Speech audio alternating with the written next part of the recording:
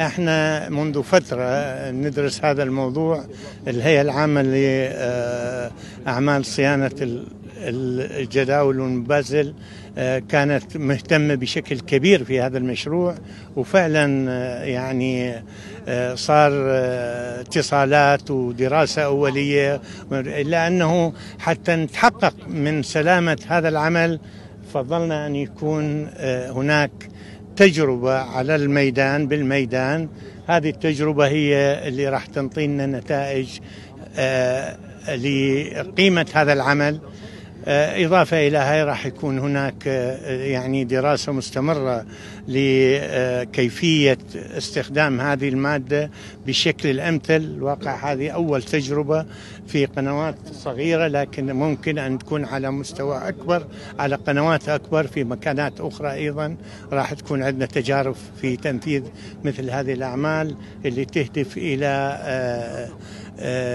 الاستخدام الأمثل للمياه الإقلال من الهدر الحفاظ على كمية المياه نقل المياه بشكل أسرع. استنادا إلى توجيهات السيد وزير الموارد المائية الأستاذ المهندس عون ذياب وحسب توجيهات مدير عام الهيئة العامة لصيانة مشاريع الري الأستاذ علي فاضل باشرت الهيئة العامة لصيانة مشاريع الري بالتبطين القناة ووتر كورس 29 بالقماش الخرساني حيث تعتبر التجربة الريادية الأولى في العراق وسيتم لاحقا إنشاء القنوات المباشرة بتبطين القنوات الباقية. يتميز هذا التجربة وهذا المشروع سهولة الاستخدام، سريع العمل، سريع التنفيذ مقارنة بالأعمال الأخرى بالإضافة إنه مخفض الانبعاثات الكربونية مقاوم لأعمال التعرية طويل الأمد. اليوم نحن بمنطقة التاجي عم ننفذ هي القناة اللي طولها كيلومتر ومساحتها تقريبا 5000 متر مربع، اليوم هو يومنا الرابع بالتنفيذ، صرنا واصلين تقريبا حوالي 50% أو 60% من الكمية اللي المفروض ننفذها.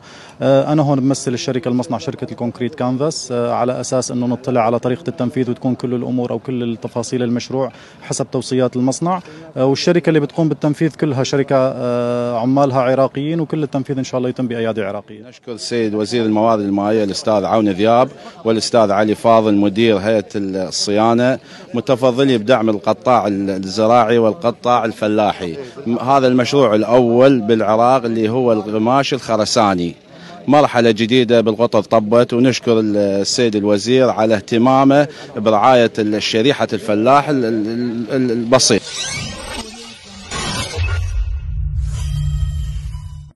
في الفضائية